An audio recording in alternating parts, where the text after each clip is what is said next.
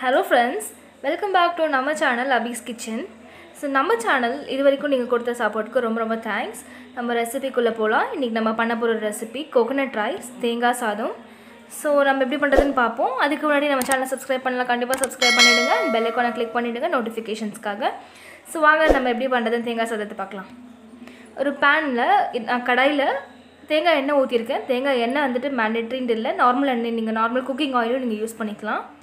So அதில் கொஞ்சம் கடுகு போட்டிருக்கேன். கடுகு போட்டதுக்கப்புறமா கேஸை ஸ்லோ பண்ணிவிடுங்க ஏன்னா தீஞ்சு போயிடும் அடுத்தடுத்து நம்ம யூஸ் பண்ணுறப்போ ஸோ இதுக்கப்புறமா உளுந்து கொஞ்சம் போட்டிருக்கேன். அப்புறமா கடலை பருப்பு போட்டிருக்கேன். இது எல்லாமே நீங்கள் ஸ்லோ ஃப்ளேமில் வச்சு பண்ணுங்கள் இல்லை டக்குன்னு தீஞ்சு போயிடும் கடலைப்பருப்பை போட்டுட்டு வேர்க்கடலையும் முந்திரியும் போட்டிருக்கேன்.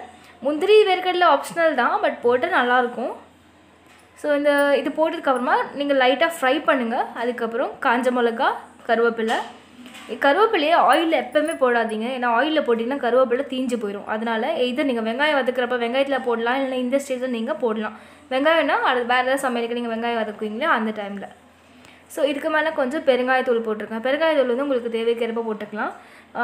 பெருங்காயத்தூள் எனக்கு கொஞ்சம் வேணும் பத்தலை. அதனால் நான் திருப்பி கொஞ்சம் பெருங்காயத்தூள் போட்டிருக்கேன்.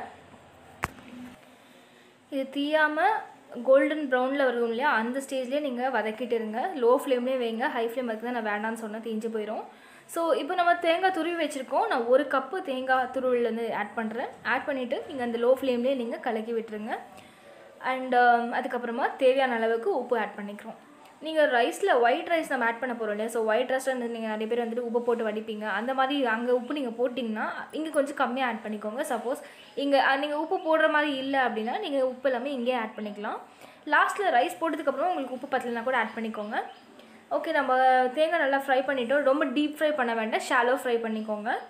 இதில் நம்ம ரைஸ் எடுத்து ஆட் பண்ணிக்கிறோம். ரைஸும் தேங்காயும் கன்ச ரேஷியோ எப்படின்னு பார்த்தா ஒரு கப் ஆஃப் கோகனட் கிரேட் பண்ண கோகனட்டோட three cup of rice so one is to three ratio தான் நான் ஆட் பண்ணியிருக்கேன் இது one is to three ratio வந்துட்டு நார்மலாக எப்பயுமே ஆட் பண்ணுறதா சப்போஸ் உங்களுக்கு கோக்னட் அதிகமாக வேணால் நீங்கள் ஒன் எஸ் டு டூவாக கூட கம்மி பண்ணிக்கலாம். கேஸ் ஸ்டவ் ஃப்ளேம் ஆஃப் பண்ணிவிடுங்க ஆஃப் பண்ணிவிட்டு முடிஞ்சிட்டு ஒரே ஒரு கலக்கு மட்டும் கலக்கிட்டு நீங்கள் ஃப்ளேம் ஆஃப் பண்ணிடலாம். ஸோ அதுக்கப்புறம் கார்னிஷ் பண்ணுறதுக்கு கொத்தமல்லி தலை எடுத்துக்கோங்க. கொத்தமல்லி தலை வந்துட்டு இது மாதிரி தனித்தனியாக பிச்சு நீங்கள் ஆட் பண்ணிக்கோங்க. ஏன்னா இந்த ஸ்டெம்ஸோடு நீங்கள் ஆட் பண்ணிங்க அப்படின்னா உங்களுக்கு சாப்பிட்றப்ப நல்லா இருக்காது. ஸோ இலை மட்டும் நீங்கள் பிச்சு எடுத்துகிட்டு அதில் கார்னிஷ் பண்ணிங்கன்னா ரொம்ப நல்லாயிருக்கும் பார்க்குறதுக்கும் சாப்பிட்றதுக்கும். ஸோ அவ்வளோதான் நம்மளோட தேங்காய் ரைஸ் ரெடி ஆகிடுச்சு ரொம்ப ஈஸியாக ரொம்ப குயிக்காக நம்ம ரெடி பண்ண போகிற ரெசிபி தேங்காய் ரைஸ் தான். ஒரு மோர் ஓவர் உங்களுக்கு வந்துட்டு ஃபைவ் டு டென் மினிட்ஸ் தான் ஆகும். தேங்காய் துருவினதுக்கு அப்புறமா இதை நீங்கள் செய்யறதுக்கு.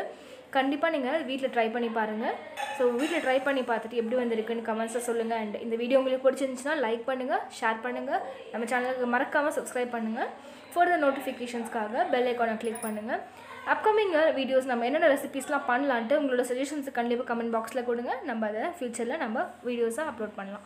So until that bye from அபியோட channel happy cooking